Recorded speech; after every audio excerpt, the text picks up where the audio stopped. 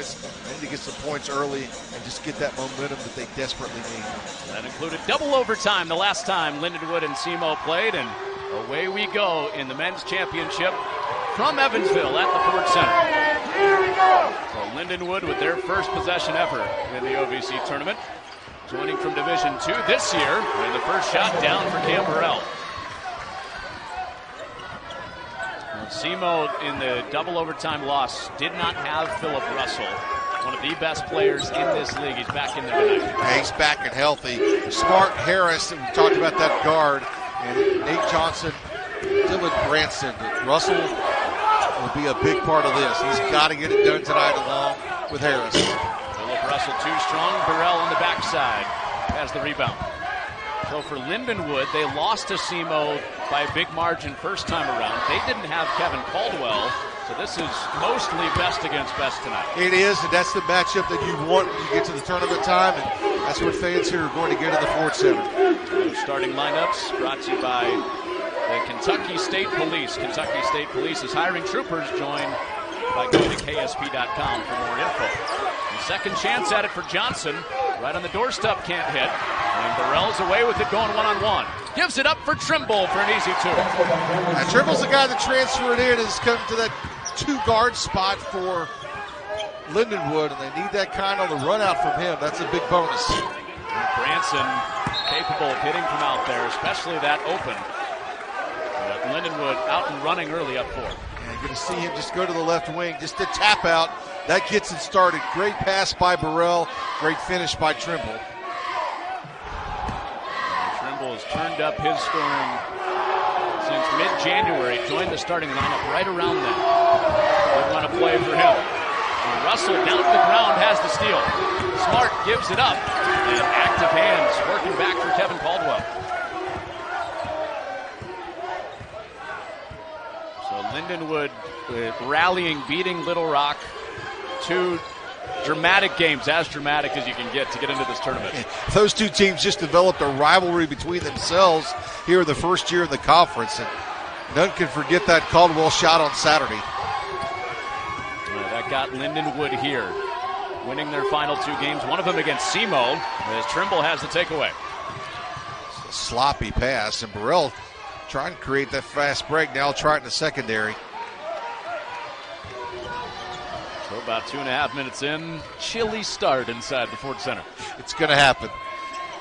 It's the ice underneath our feet. Right? It, it, may very well be. Now, keep in mind, albeit two overtimes, both of these score, teams scored 100 plus the last time they met. That was the first of the two wins Lindenwood had to have to get into the OVC tournament. And Johnson is doubled and he gets stripped, and still no points for SEMO. A great interior post defense, and we talked about needing Harrison Russell to get penetration. Unable to do it then, and really good post defense by Lindenwood. Russell checks the rear view, goes into the body. And a very, very cold start for SEMO. Yeah. See, Russell was getting that before when these two teams have played. You can go back and look at it. Not so far early tonight. And Brad Cornell sub at the media timeout. Our next dead ball is Caldwell drills a three. There's the man of the hour. Stan Gerard talked to me earlier today, or check that. Kyle talked to us earlier today about Russell. Just said he just kind of just hit a wall midseason, like a lot of players tend to do at that point in time. And then after that point, once he got beyond that and they continued to have faith in him, talking about Caldwell, he's been producing for him. And wants another one. Going inside this time, and Caldwell, no. Second chance tipped out by Cole. SEMO starting this game 0 of 7. Harris hanging and hitting. Wow, that was on the way down. It was in desperation. Good defense by Trimble. Not the guy you think is going to provide that defense in the post, but what a shot. Well, this game can get up and down. Once the shots start falling, expect a high point total. 105 102, the final last week. And that's off the hands of Cole. And SEMO will have it back on the other side. And Kyle Gerdeman also said this year's been really hard on Caldwell, making the transition as a D2 guard to a D1 guard. But this is a, a three year body of work where he's been one of Lindenwood's best players. SEMO started one of eight, and they go inside and it's short. And playing through the post, one and done through Josh Early. Yeah, Lindenwood's playing with a little more energy, at least early than SEMO is. We'll look at these uh, substitutions that SEMO has made. Uh, three out front, no. Rebound Smart. And SEMO, one of the fastest playing teams, not just in this league, but in the country. Top 10 in tempo, and they're also very good at this, Bob. Get yeah, to the free throw line. Yeah, that's that penetration we talked about. And going to get a guy like Russell shooting 82% to the line, but if it's not working there with the jump shot, it's not working with the mid range. You got to lean on that penetration with Russell and Harris. Two shots.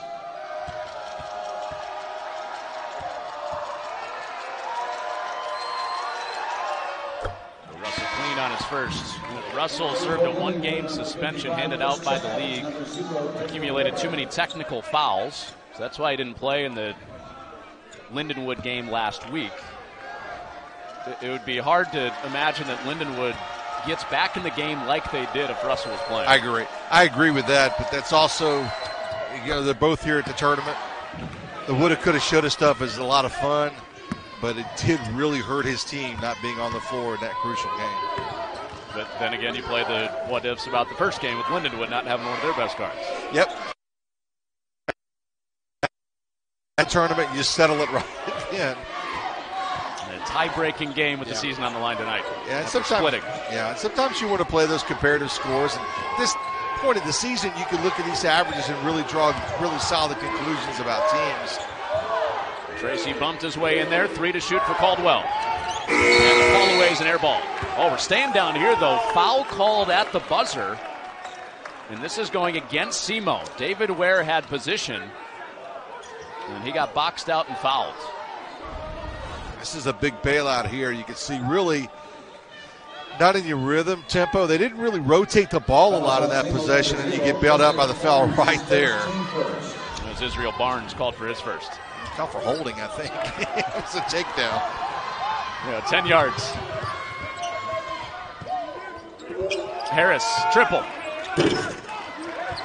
And SEMO still haven't hit a three. 0 for 4. Really, SEMO, in terms of coming just to the perimeter and shooting those outside jump shots, not looking for anything on the inside. Volleyball underneath for David Ware. Caldwell strong. And finally recovered by SEMO with Early. And without Kobe Clark, who's out for the season with a knee injury, Early's had a big rebounding role. And can't keep that one alive off the Barnes miss. Zero in the last eight for SEMO.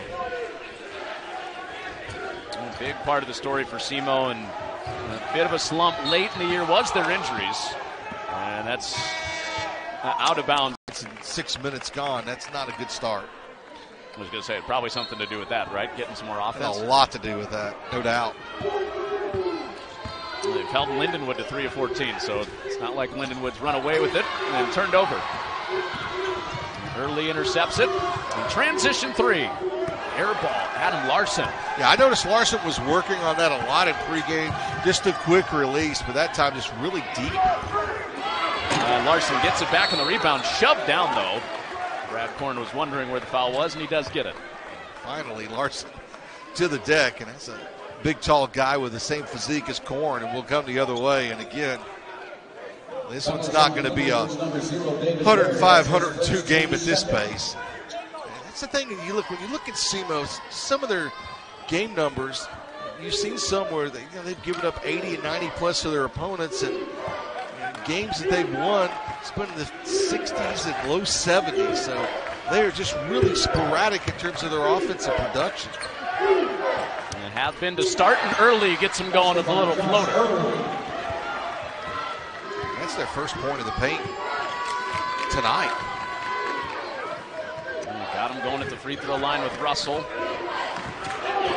So SEMO in touchdown just one despite the cold shooting start at 15%. Cole going to screen high and try and create something. Look how wide open the middle of the lane is for this one-on-one. Oh, Williams got hooked and he scored. Yeah, that's what you did. It created it out. Open that lane up with, with Ware and Cole flashing high, that was the difference right then. About that with the left arm, clear it out. It was kind of a double hook, wasn't it? It was. And about six feet of distance. Right. Tommy Williams uh, from the St. Louis area from Belleville completes the three point play. He's a guy that can turn on the scoring for Lindenwood. He scored 21 points out of nowhere against UT Martin in an early February game. Philip Russell, step back. Oh, in and out. Nasty look at a step back. Yeah, that was great defense by Williams on Russell. And again, a little surprised not the penetration by Russell in that instance. Childs off, rebound Russell. Both of these teams are just really struggling. And Russell cut off Branson. Whips in there, rolls out in the follow up from Early. Good job from Early, coming the weak side and just finishing off. And that's the point of the paint I was calling SEMO out for not having at that point. So give him one, give him two rather there. Early's answered your call twice now. Back to Williams. Back to back and ones for Tommy Williams. Same side of the floor, same offense. Lindenwood has definitely been a little bit streaky as far as some of their downturns. Hadn't won three games in a row all year, so it was in doubt that they would get here, but it was the two wins to close it out. In double overtime against SEMO and then in overtime against Little Rock. Got them into the first tournament that they've had a shot at. You know, when when you had to make a play, when they had to win a game, they were able to do it down the stretch. And, you know, one of the neat things about playing in a tournament is yes, you get double byes and single byes. When you're eight seed or a one seed, you're in the tournament. You got a chance. Teams held out, but Lindenwood has earned it. He'll be NCAA tournament eligible in 2026 as Early gets blocked, stays with it. Early's been an early surprise. Oh, you were sitting on that one. I, have been waiting, and in my uh, in my research, uh, had that in there. So I, I, got that worked into the first nine minutes. So we're in good shape. That was research. You just looked at his name. Well, I know, but I also put in the fact that it's still early in the game. So to draw the two together was successful. Well, Cam does not have a last name early. That's Burrell. He's had a good early start. Four point lead for Lindenwood. Burrell's got four on three rebounds. Russell is the guy at the top of the scouting report. Quick crossover, and he's in for the layup. I understand that was created solely by Russell and his speed to the right. He did not get a screen, did not get a pick and roll, anything at the high. It was one on one, beat his man to the bucket. Anybody you ask about Philip Russell, well, there's Burrell, and he's fouled. So Burrell Let's go back and take a look at, at Russell here and just pure one on one. He's going to be beyond the arc. He's not going to get a screen or anything. He'll just blow right by Williams for the bucket. I can't say this exact quote about Philip Russell, but I've asked around the league a little bit, even some of the non conference teams SEMO played. Anybody that has coached or played against Philip Russell, they say he's got some bleep to his game. You can fill in the blank on that, but he's got some bleep to his game, uh, meaning he is a, a, tough, tough out. Yeah, he, he is. And if you don't need to screen for him or create offensive schemes, what a plus that is to your offense. And that's what was missing. Remember all those jumpers early on that SEMO was shooting? At one point, they were one of eight, one of nine. And they've kind of maybe gotten into their flow. Burrell's had a strong start. Branson for three. Books that.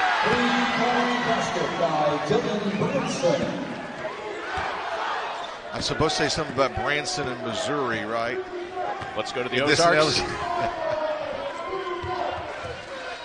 Trying to go hang out with Jason Bateman in the Ozarks. Uh, that could be a, that could be a stretch. Caldwell behind the screen. Little shake. Oh, he got Branson to fall down. The shake, the stop, and then the restart off a double screen in that case. Drive and kick, Russell. Extra pass. Branson attacks the closeout and called for the charge. Little surprised Branson to go to. Said, we'll go the other way. So Branson down to the bench. foul trouble for SEMO. Both have two. Three is off for Chris Childs, wearing 55 tonight, typical number 30.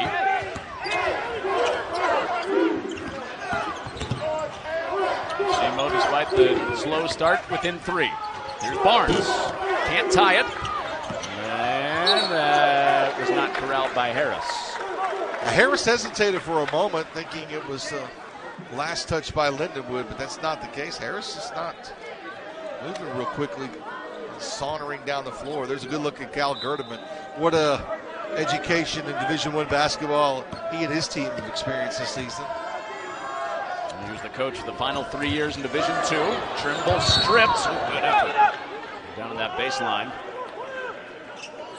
But SEMO could not save it with Smart. That hurt a little bit, huh? It did. He got up rather quickly, so that's good news for everybody. A little bit different than the uh, tumble earlier by Larson. Guys on Southeast Missouri's number zero, Israel Barnes. It's two on Barnes. That's three players now that Brad Korn likely have to sit down. He's not sending a sub for Barnes, but Larson and Branson both sat down. From this one on the line, Going right back at Barnes. Caldwell cut off in the lane and falling away short. Strong rebound for Smart. Really, Caldwell had no outlet. Oh, Early up ahead for the two-handed jam. I was early in on time. Might want to wait a, at least a full 30 before they go to that other end of the floor. It's shaking. Yeah, quake from Josh Early. And a hand check, and a wrestle, and Childs going at it on the baseline. Josh Early, no float game this time, all jam time. I'll leave that one alone. That's the thing of beauty right here. This is even better perspective. Thanks for fighting the temptation. I think that's a four plus on the Richter scale there. I'm with you. Earthquaking. We're going to find out a bit or two about Lindenwood shooting free throws here too, because they're going to have plenty of opportunities for the remaining eight minutes. That was the first one and one. I don't think everybody on the floor knew it. Harris pull up jump. Basket by Chris Harris. SEMO's got their first lead of this game, Bob. And hard to believe that after being one of eight to start, they've kind of steadied the ship now. They've still got to fight this foul trouble and play a little bit better defense in these ensuing possessions. Halfway down and out on the three for Keenan Cole. These rims are lively. They are. You're right. Good look for Cole. He's the top three-point shooter for Lindenwood at 46%. He's got the on-ball defense. Harris with the step back, and Childs the rebound. And to your point again, they had the screen to create for Harris. Not the case for Russell. Childs streaking all the way in. That's just flat out bad defense, Connor. There's no excuse for that. Child just blew by three defenders at the free throw line.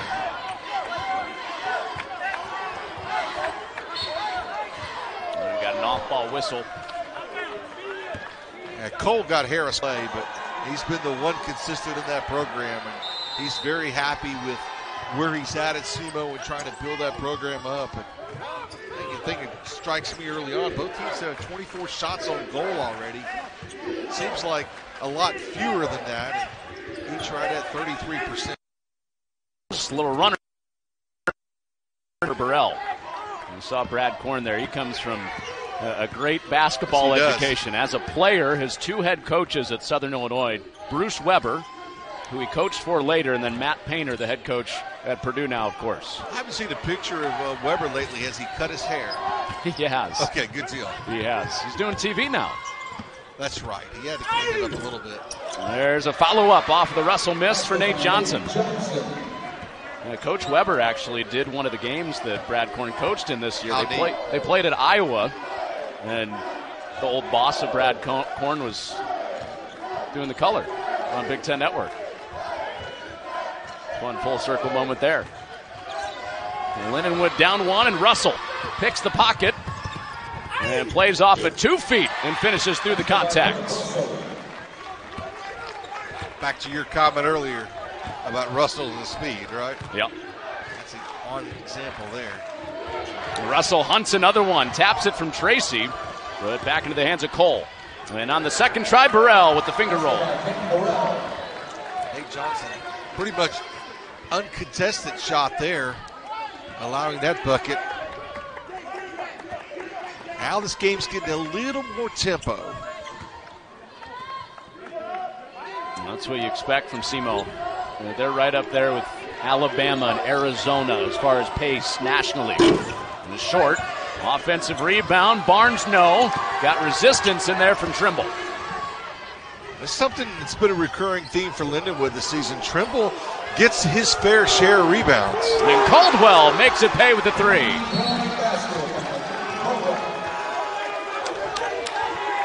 So Brad Korn. I have. I've been to four different conferences, and I couldn't agree more with what you just said in terms of kind of getting away and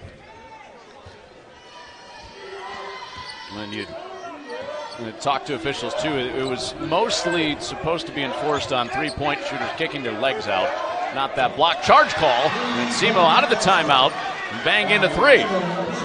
So Evan Ursher off the bench, the freshman. SEMO's getting contributions throughout after having gone to that bench early. And Caldwell on the take, and he gets fouled. Caldwell went to the opposite side of the rim. Just see the numbers for SEMO just heating up a little bit, starting that one of eight and then the two of 15. And since then, they've gone eight of 15, and that will get it done better than 80%. Lindenwood, somewhat along those lines as well. They started three of 15, and since then, they've heated up as well, 7 of 12. And you can just kind of see those numbers rise from the upper 20s at one point. We checked it a moment ago, it was 33, and now we're in the mid upper 30s in terms of shooting percentage right here. The usual suspects have heated up, one of which has been this guy here, Caldwell. And we've seen Russell Harris. Now we're going to watch Smart. You're one of the timeouts. He's back in the game for SEMO. Had his shoe off and was getting some attention to his ankle. He's opposite wing here. Russell short. And rebound torn out of there by Cole. Childs had a look at a transition three, close out from Harris, and he forced a little speed up. Yeah, we, we talked about the difference in size, and Lindenwood, their interior guys are playing much bigger than they are. It's listed on the charts as well, and that's one thing that's that and the guard play. Of course, that's both elements of a basketball team in some respects, but those are the two elements that Kyle Gerdeman has been kind of surprised by as he's gotten in the OVC, particularly as you mentioned earlier, the guard side of it. But they just need a little more size, yeah. Something they'll have to recruit to. Yeah, exactly. And the question with Kyle this morning was, well, you know, the obvious thing that's every bit of discussion now, the transfer portal is going to be that way, or is it going to be developing four-year players, which are kind of the hallmark of a D2 program? Here. Two weeks left in the season. There are about six teams that still could have won the championship. You look at the preseason poll, there are five different teams picked to win the league. And that is, uh, you know, at some point in time, you think, as the old saying goes, you kind of settle down a little bit and get to figure this league out. But the three teams that have entered this league this season have made a huge difference. And all of which are either here or, in the case of Little Rock, was playing for a chance to be here at the final uh, Saturday of the season. Could be some kind of week with that type of parity. Here's Caldwell straight on three. Can't let him have that. He's getting the confidence.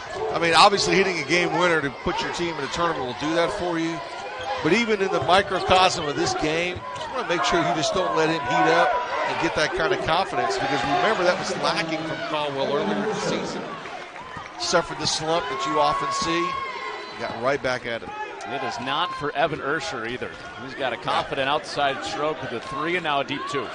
Is he coming off the bench, Brad? We need to ask him that, right? He's only given him a point a game this year. Yeah, look how Lindenwood spread the floor here. Now they'll run Trimble up, which is not an ordinary situation you see from your guard. Caldwell back-to-back hits. And what it did was create that opportunity for Caldwell. He got the screen that time and shot over it. This should be good tonight. Russell and Caldwell both playing against each other for the first time. Caldwell's got 16 in the first half on four threes and an answer back three. It's Ursher for a second time from outside. So he's already got his season high. Most he had in the regular season was seven, eight first half points for Evan Ursher. Down to that dunker spot, the reverse won't stick. And Keenan Cole has it cleared out of there with Smart. Cole made a smart move, then kind of using that rim as another defender and working around it. Just could not finish. Russell putting the shake on. Russell immediately recognized that two three zone with the Goes down. Turned my head to the other end of the floor. You can see Smart chirping now, and I understand he was uh, at the point of finishing that play.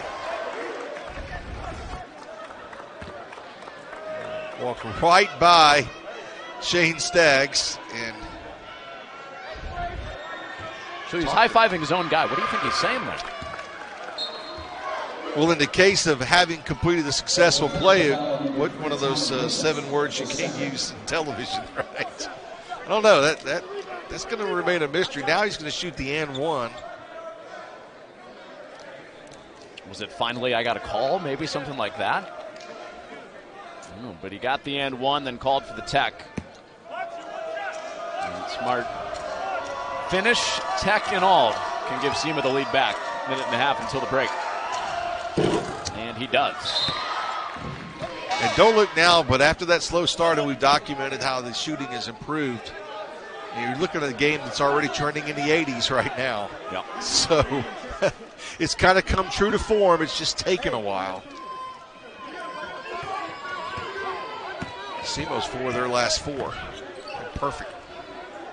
Last four trips down the floor. We figured they'd heat it up. After the slow start. Watch the rotation here, see what we can create for Caldwell again. And Cole on the take. Good hands from Russell, and he's fouled. Cole not de- convinced. Yeah, yeah de- that's good defense here by Russell. We don't talk a lot about defense and Philip Russell often, but that was really good defense, steal of the ball, and immediately the reach in foul by Lindenwood. Hands to the temple for Kyle Gerdeman because Cole's in foul trouble now. Three fouls on Cole. Let him run with the two. Lindenwood's gone back man. And sprinkled in that zone. Couple trips. Final minute, first half. Winner gets Tennessee State tomorrow in the quarterfinals. And 10 on the timer. Russell draws a crowd. Harris drills the three. That was beautiful. Well sent. As you indicated, very deep in the clock. Great ball rotation. Great technique. Got it done from 26. Thanks, Bob. You don't have to compliment me. It's early, and I'm already on. To, and we got. I've got three more opportunities to do that going forward. Playoff. Hey, There's a three and an air ball. if you think both of these teams have gone up and down the floor once they kind of hit their stride, wait till you see Tennessee State tomorrow night. It'll be a great matchup with either one of these two. That's a. You, you know what everybody's thinking about if it ends up being SEMO and Tennessee State. There was an 11 technical foul game that those two played in the regular season. Not super lovey-dovey. Uh, game took about three hours to play. Yeah. Ran out of time on my ESPN Plus rewind window. Five until halftime. Harris off the pivot. No. Tapped around and to the finish line in this first half. So Lindenwood. Interesting, in my opinion, SEMO was getting rebounds better and lead slightly in points to paint. They got seven more shots on goal. Those halftime stats brought to you by Digital Scoreboards, proud supporter of the OVC. Digital Scoreboards provides indoor and outdoor displays. Second half starts with a Chris Harris miss. Reminiscent of the first half, right? Cold, cold, cold to begin, and then the shooting numbers that you just saw more toward the mean on the season for both Lindenwood and SEMO. As is the scoring overall. But again, I think it's really important. SEMO really kind of rallied of sorts. Get seven more shots on goal, I think, is a big deal for them as far as the first half goes. The winner gets Tennessee State tomorrow. Penny Collins and Tennessee State staff here watching tonight. Winner gets the four seed, and that's an offensive foul on Keenan Cole. And Bob, that is massive. He had three in the first half. That's number four. Yeah, he was a force early inside for Lindenwood, and then just really picking up those fouls really took away his effectiveness. So now the big question is, how long does he remain in the game? He is Lindenwood's top scorer with those 13 and a half points a game. And quick hand check on Burrell. So what do you do now if you're Kyle Gerdeman? How long do you let Keenan Cole ride on this? Well, he's fouled out rather frequently this season. That's a big number to look at it. I, I think you got to stay with him and try and get him to the, at least the next media timeout. Then you probably got to sit him for a while. But again, no one has that size and frankly talent on the Lindenwood bench. They have to just roll the dice. And Harris likes that mid range, not here. And Smart, an unintentional pass into the post. No bounce, but Harris still scrapping for it. He gets fouled. All of a sudden now Harris again, and we talked about Harris and Russell with the drives. Now we're seeing the guards kind of play a little bit lower in the post. And actually, the Lindenwood staff is coming over just verifying with the official score, Connor, that indeed he's got four fouls. Cole's got four fouls, and now he's going to ask them to check the book. Kyle Gerdeman is. It's really an interesting move by him. And let's see if they'll create a, a timeout. They're going to do just that now. Okay, so the official stats right now have Burrell, who was just called for this foul, with three. They have Cole with three instead of four. So if the official live stats are the same as the official book, then they took a foul away from Keenan Cole, which is super important to keep him on the floor. And again, if both are playing with three, you can expect both to remain on the floor. So there goes my theory about that. But Caldwell, quick fire. And Cole just banged in there, and that is officially the fourth foul. In a half a game, Cole the top scorer for the Lions at 13 and a half. I think for both of those, it also limits the ability to screen high and create opportunities for Caldwell and Trimble. How about Burrell? Still aggressive. He got the block with the three fouls. Now we got a whistle off ball. And Russell was called, but they did go flop on Russell. He's been called for that. I think that's five times now this year that Russell's been called for a flop. So he's, Again, he's going that. back to the issues that you had mentioned, you know, where the league had reprimanded him, missed a game.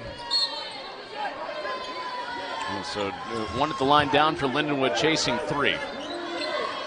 Caldwell's staring right at Chris Fuller. He wanted to reach in on Russell. Play on though. Here's Childs on the take on Harris. And taken away. Into the full court. Smart gives it up. Johnson can't finish the jam. No look pass. Beautifully done by Russell. So Get the Johnson- jam after all. Johnson got the second try. How often do you see two dunk opportunities in a single possession about five seconds apart max? That's Russell Caldwell here. This is the matchup I'm going to keep an eye on. And notice they did not come out again and screen for Caldwell. Nice touch. Cam Burrell.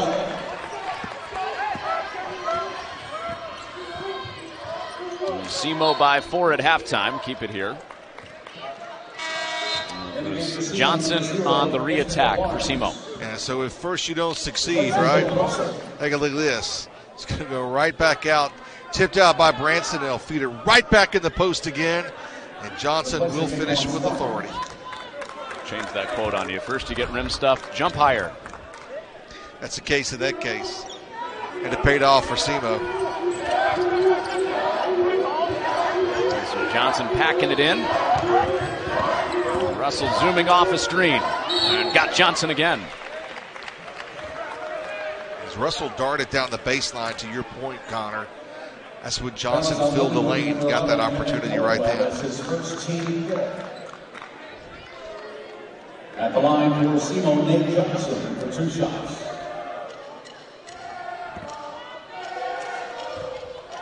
Johnson at 56% of the year here.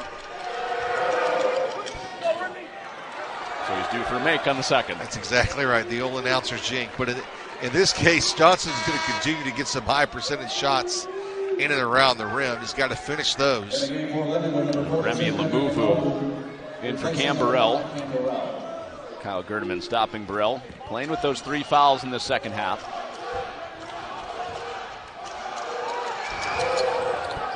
And Johnson true to his percentage. I probably if he can get Burrell beyond the next media timeout, maybe another four minute spacing then, and get Burrell in for the stretch run. Remember, media timeout in the OVC at the under 17. Takes away that floater timeout. A little different stagnation. And a foul. And Childs got in on Branson. Yeah, Branson played good defense until he, the penetration took him into the lane, and he's complaining he got pushed off. But called for the reach around at Branson. At the line for Lindenwood, Chris Childs. Two shots. Trying to figure out my geography from the Bronx to St. Charles, Missouri, when it relates to Charles. Childs, rather. That's a long ways away. St. Charles is not one of the five boroughs of New York. No, it's not. However, the Bronx is. Of that, I am certain.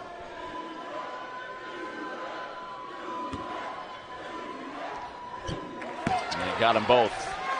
Childs coming off that explosive final weekend. Put 25 on the Red Hawks in the first game of the final stretch. Told he got his jersey torn in the game, and that's why he's had to go to 55 tonight. Here's Russell, blocked. Lamuvu off of the bench with a big defense. Caldwell on the attack. And offensive foul. Branson is really getting it done defensively. Were to pull a shocker, go eight seed to the championship, it would be the team in the championship that played them that would get the automatic bid. And it, it would be Lindenwood at USI, for example, that you would have a situation where the highest seeded team in the semifinals go to the big dance. We had the situation last year in the Atlantic Sun with uh, Bellarmine. Bellarmine was transitioning from Division Two. That was the regular season champion out of that league that went.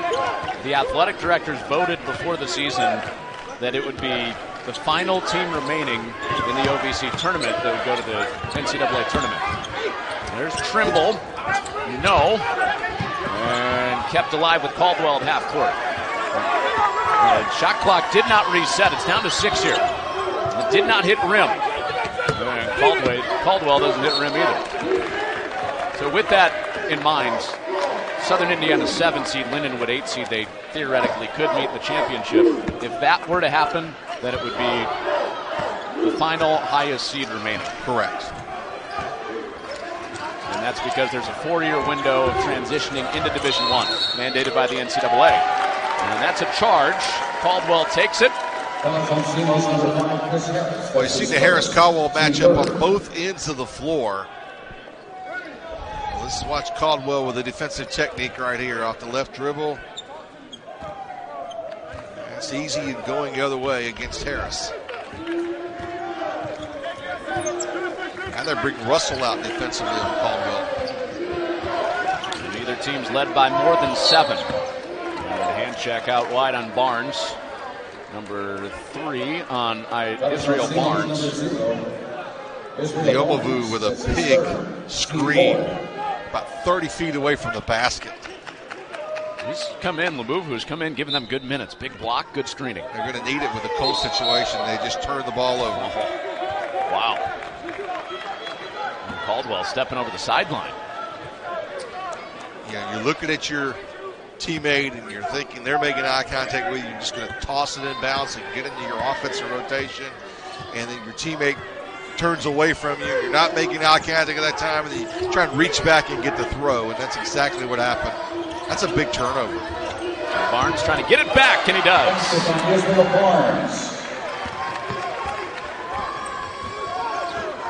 Brad Korn let him play through the foul trouble. And he hits him with a big basket. Big reason Barnes is probably trying to play through that. And Trimble got it. Smart is still suffering from that ankle injury. He's behind the SEMO bench. Now Trimble's awakened a little bit here. Take a look at what the off guard's got to offer. The drive just gets it to fall. And Trimble's one of those young men I met during media days 130, 140 days ago, right here in Evansville, and he had just come into the program, kind of hesitant in answering questions, kind of, you know, trying to feel his way around. And talk to Cal Gerdeman. He is really. I've been looking for King Tut for a while there. I saw the backside of it last week, and Trimble is just really coming to his own lately. Saw King Tut's backside. What? Watching the uh, Lindenwood Little Rock game, camera. So I wanted to see the young man, and only when they had the court storm was I able to see King Tut back, and he's back in full gear tonight. There he is. That's good stuff. Color coordinated and everything, Connor.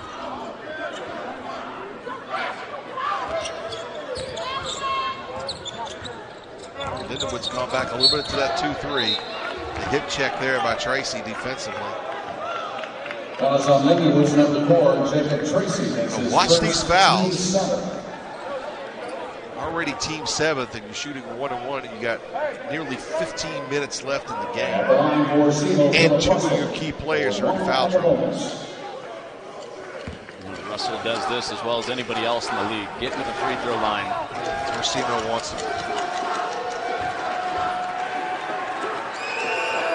You, know, you, you look at analytics with him, and an average of seven fouls drawn per game. And you're thinking, oh, that's kind of a random number, whatever.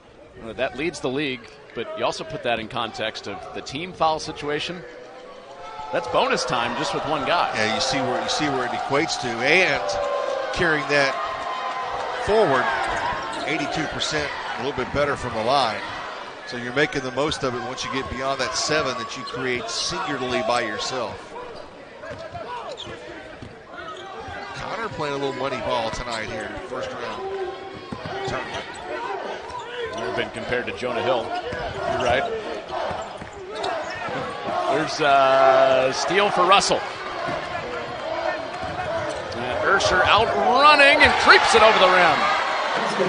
Ursher really kind of emerged, if you will, in the first half. And SEMO's glad to see that kind of activity pick up here in the second hadn't had a field goal in five games before tonight. And a tough two for Chris Childs. What about Childs getting away with a clear out with the right hand as he dribbled left in the lane?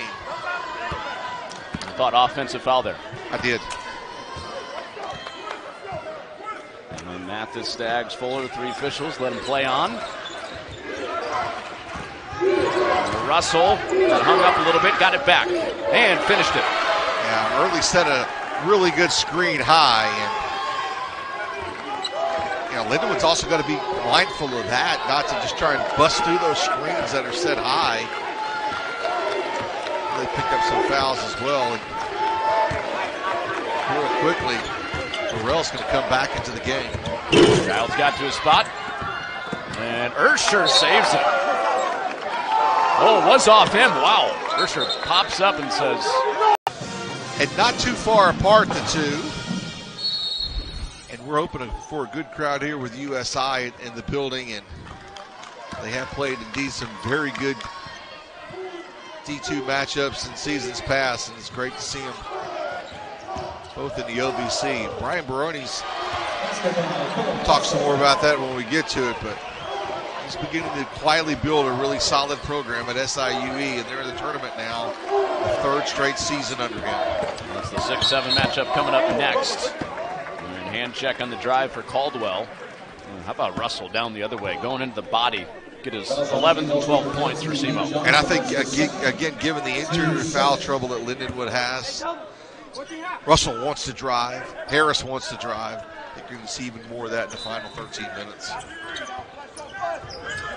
Lindenwood running Trimble off a bunch of screens. That's a good point because I was a little surprised that Russell was, or rather Caldwell was the one inbounding the ball, trying to set for Trimble. There's Childs, a little shake, can't get free of Ursher, and finally does. Pretty good defense there, Bob. Yeah, I, I, I agree with you on Ursher. Russell finds the spot and a mid-range hit for Philip Russell. The elbow right there. Watch out. With Russell heating up, Child's going to take it right to him and pick up the foul. Russell with the foul near our broadcast position. And Shane Staggs having a conversation. And the top two scorers in this game for both Lindenwood and SEMO. Got Russell at 18 a game, foul trouble. Got Keenan Cole, 13 and a half a game for Kyle Gerdeman, foul trouble.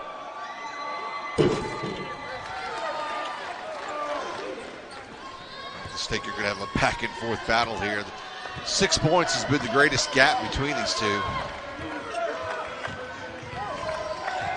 That was very early for Lindenwood and back to the rim for Smart. Yeah, just played on the perimeter. Smart coming down the floor. He's in a lot of pain. Connor, you can just see it. Caldwell got sped up, and Harris bumped in midcourt by Williams. That's a bad foul for a team that's already in foul trouble. That is a bad foul at midcourt for Williams and Lindenwood. That's his second. Team second. Forgivable for Williams just his second as far as personal foul trouble, but all these fouls, everybody's in the bonus the rest of the way. Yeah, adding up. We have a guy like Harris to the free throw line who 77% on the season, but again, it's the opportunities you talked about in the analytics what these guards for SEMO were able to create in terms of fouls against. Well, if there's one thing that Brad Korn's team has been elite at this year, it's getting to the free throw line, especially with Harris, who's there now, and Russell. And you know, Korn is a college student, college player, was a pretty good free throw shooter for a big guy. You know, that's always a knock on the big guy that don't shoot free throws well. Brad Korn shot very well.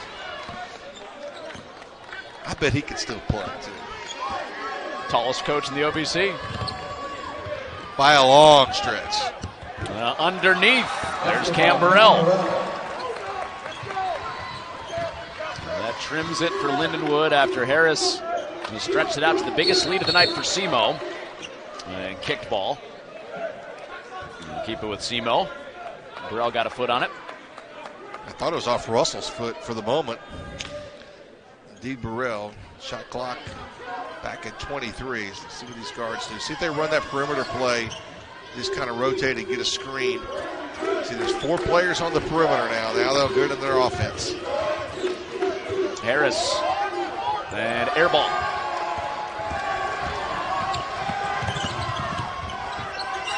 Caldwell slides it down. Burrell contested shot way off. There's Smart with speed breaking it. Russell in for Johnson for the layup. I like the big guy just instead of trying to dunk it because of where he was so deep underneath the basket, just up and laying it off the glass. And a foul with Childs on the handle. And Johnson. Oh, absolutely. I have uh, devices that allow me to do that. Okay. Kyle Gerdeman seeing his team go down at nine points, but cut into it with Childs at the free throw line. So the biggest SEMO has led tonight at nine. That's a 16 point turnaround, by the way. SEMO trailed by seven early. Also got 13 points off 13 Lindenwood turnovers. SEMO's been very clean down here, only six giveaways tonight. And haven't fouled a lot in comparison to Lindenwood. Barnes, good feed early on the doorstep. No. Hands in there for Lindenwood, and an early reattack. The play was designed to get you early. Able to get it to him just a little bit too late as they rotated across the baseline and then reverse the ball. Kobe Clark was with the SEMO team, and when they had him, SEMO looked like a contender for a championship. Still get it done this year. And in this week, it's out of bounds. Diving over the table. And we have some spillage. What do we lose down there? Coke? Regular Coke. Not a zero or Diet Coke. Power stripping and a Coke, it's not bad. All electronic devices seem to be intact.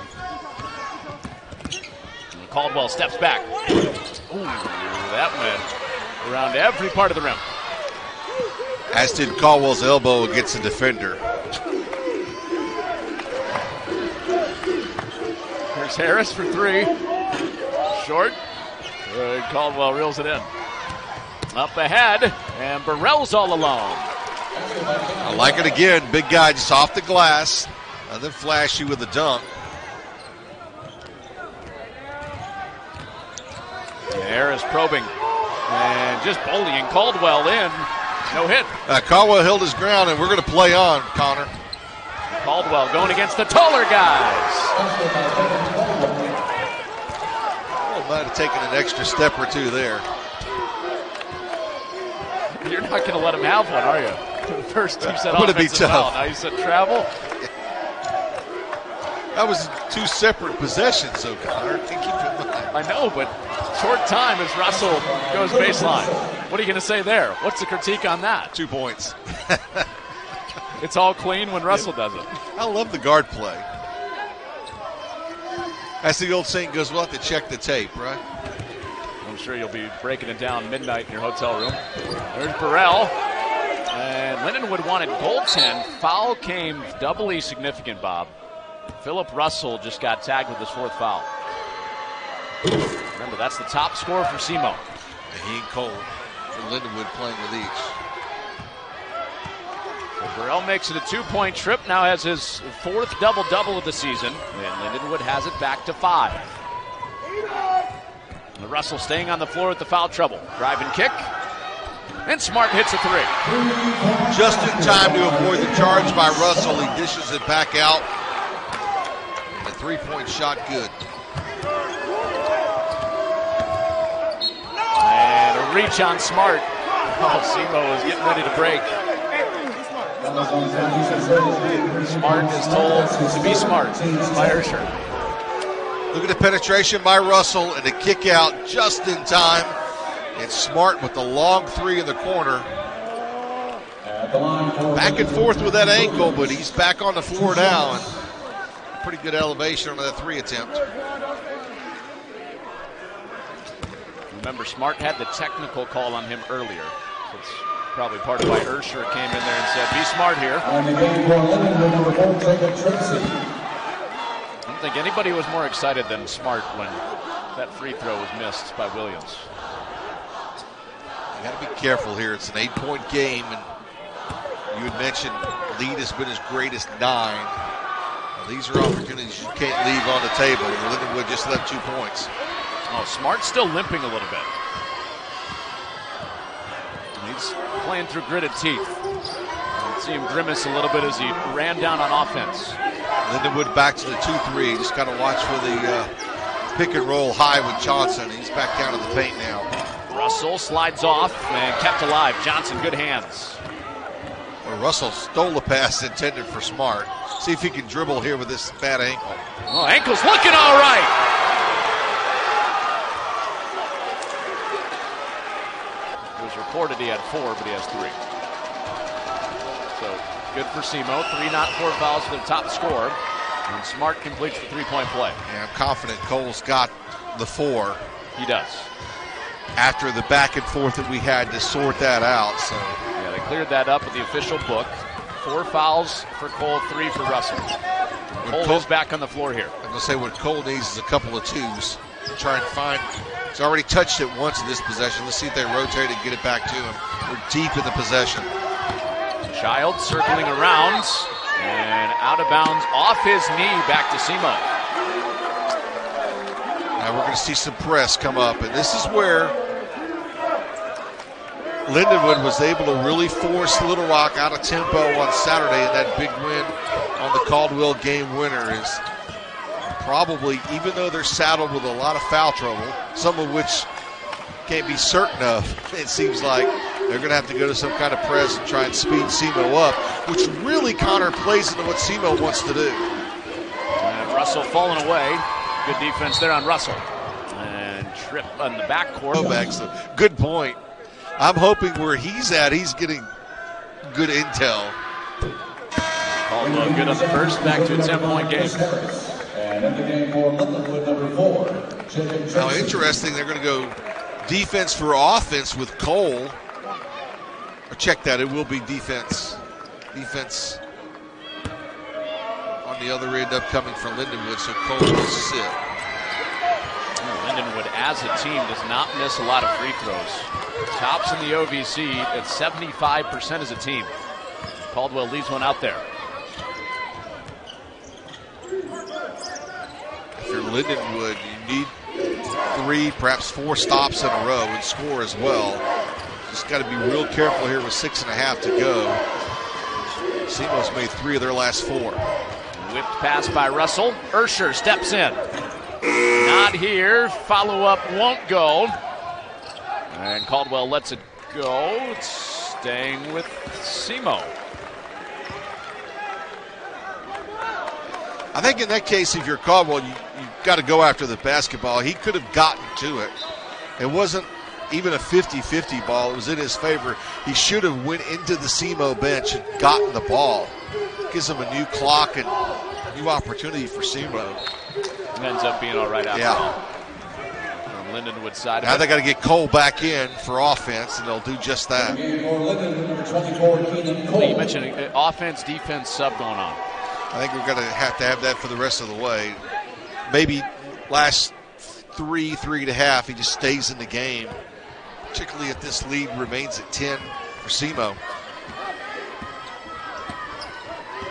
Caldwell has been the top guy tonight for Lindenwood. 19 points.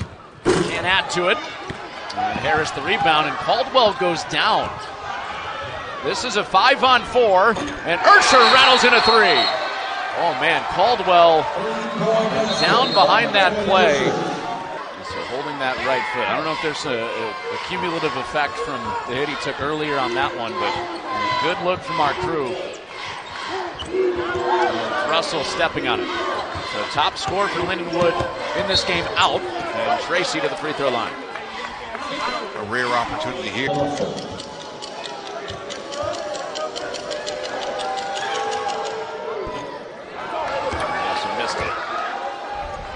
Tracy got called for talking. Remember, him and Russell came together in that huddle. Said something to Russell as he passed by.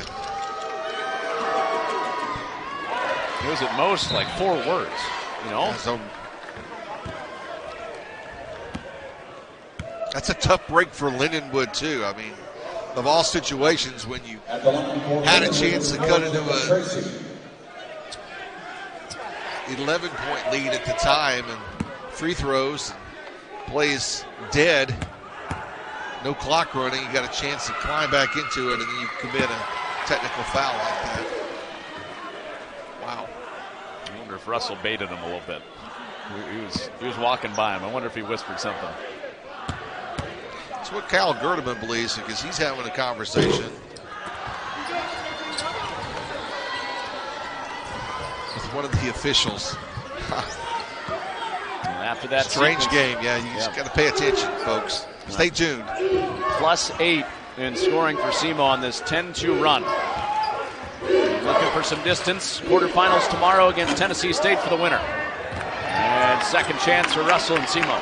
I think this would be smart for SEMO to run a little bit of clock here, get it under five minutes before you even take a shot. It looks like they're going to do that. Russell gets it down to 10. And Johnson skying for the rebound, but a foul. Yeah, they really. Cole for two shots. Lindenwood, check my notes, but I believe they were close to 15 or 16 behind against Little Rock in the second half. In the game for Lindenwood, number five, Came back to win on Saturday, so it's not uncommon. And the comparison between Lindenwood and SEMO bears a little more observation, but Got back into the SEMO game, They too, did, that went to yeah. double overtime. that's right. And nothing. Missed free throws. Very difficult. Cole shoots it at 75%. Had a couple trips ago. Caldwell at 73%. Lead points out there for the Lions as they try to march back.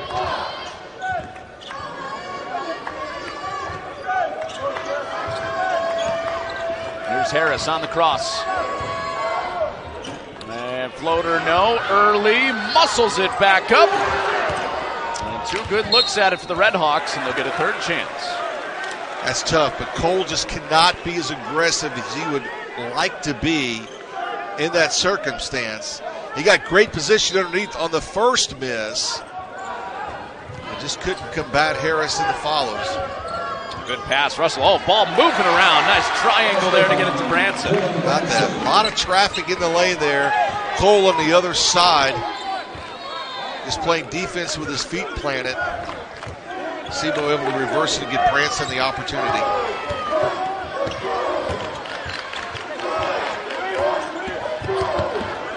Childs on the spin, discarded Branson. And a rebound for Semo.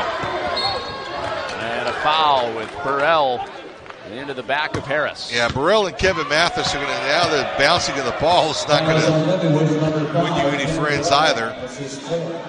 Childs doing that walking down the floor. Mathis and Burrell, Kevin Mathis, the official, really locked eyes in, and uh, his leniency toward Burrell and how Burrell pushed the SEMO player at the time bears recognition, actually. He could have easily called him for a technical as well. Harris himself gives Semo distance. 10 points for him. He got four in double figures for Semo now. now. Here comes Instant Energy Barnes into the game for Semo, and he's going to come bang the boards, and they're going to take another shot at Cole probably in some offensive set to try and, and exit him at the game playing with four fouls. I, I, the Barnes, Brasher, Branson rather, change out. Semo doesn't lose a lot on either end of the floor. Barnes has been scoring support for both Harris and Russell. He gives them a third 10 point per game type of guy. And now Harris to the bench for Semo. And Caldwell's back in after he's holding that foot. And can't hit. And it was Barnes that had the defense. Yeah, those were the shots for Caldwell in particular that were falling in the first half, and it's just not been the case here in the second. Now, this I anticipate, you can tell by Brad Korn's call, this has got to be a shot inside the paint and deep in the clock. Not so much deep in the clock, and then again, Lindenwood throws it away. You can just really see the frustration. Uh, OVC tournament. That's about 9 o'clock Central, 10 Eastern. Brian Barone steadily is building that SIU, SIUE program, and then we got a quick quick timeout by SEMO because it could not get it in inertia. Up in suburban St. Louis.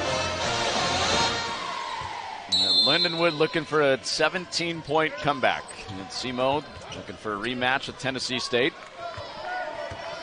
Split regular season series. Oh, how did that pass get through? Smart through the arms of Williams. Almost hit his face.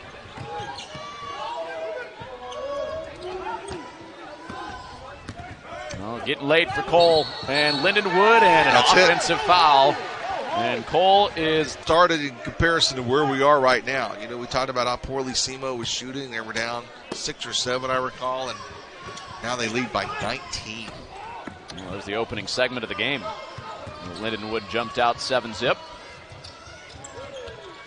Semo settled in, led by four at halftime, and now plus 15 in the second half. Good look at Cole there. And a tough night Career is over. Yeah. Uh, Russell underneath at the scoop. You say that, but you wondered so many of these seniors, in terms of their classification, Williams running the floor easy. Some of them may be back or not, but you look at a senior like Cole and you see it's a really solid first half. But man, I tell you, Smart is really he has to back out of that play and he's turning to the bench and saying, I want to get somebody in for me. I couldn't imagine with this lead why he's still in the game. Now he's going to talk to Brad Korn while action is live. And three to shoot. And that doesn't stick early. Oh, big man rebound. And Semo counting down the seconds for rematch in the quarterfinals with Tennessee State. And tried the alley loop early, and I tell you, One of the best players at this level, too, for Lindenwood. he did. That's a great point because Kyle Gerdeman earlier today was talking about just the guard play overall in this conference and how it took a while for Caldwell to kind of get in sync with it. it. Took a while for that guy to get in sync with it as well, Trimble. And when they did, he felt like he had as good a guard tandem uh, as he could possibly have in his first season in this conference. Good to see Trimble hit that shot. He's been non existent since about midway through the first half. Semo took him away for stretches and took away Cole the entire game. Uh, on their way to an opening round win tonight. And early, that's goaltending. who called for the slap. So looking ahead to tomorrow night, Southeast Missouri State, they beat Tennessee State by 17 in Cape Girardeau. A couple weeks later, early February, they went to Nashville, lost by 20. That was the game that had 11 technical fouls, and, and there will be some anticipation the next 24 hours of that game. Yeah, if you like chirping, why don't you tune in tomorrow night to the first game because these two teams do not back down from each other. Entirely different games on each other's home floor, and so. And they played each other last year in the quarterfinals. And SEMO won it by 14 points to go to the semis. So we get a 4 5 matchup in Tennessee State. SEMO tomorrow night, 6.30, right here. And 10 on the timer here. And out of the hands of Tevin Gowans. And Lindenwood will get at least one more possession. Now watching the SEMO bench, and it's you know it's real easy to to look like that bench looks after winning a tournament game. But I remember stretches this season where they just didn't look like they were in sync. But once they got rolling after the first two media timeouts of the first quarter. It's been pretty good since then. And short, and SEMO can dribble it out. SEMO started the year eight and three. Injuries, including to Kobe Clark, one of their best players. They finished losing five of their last seven, but convincing in the second half tonight to move on to the quarterfinals. That's a team for Brad Korn that clearly had the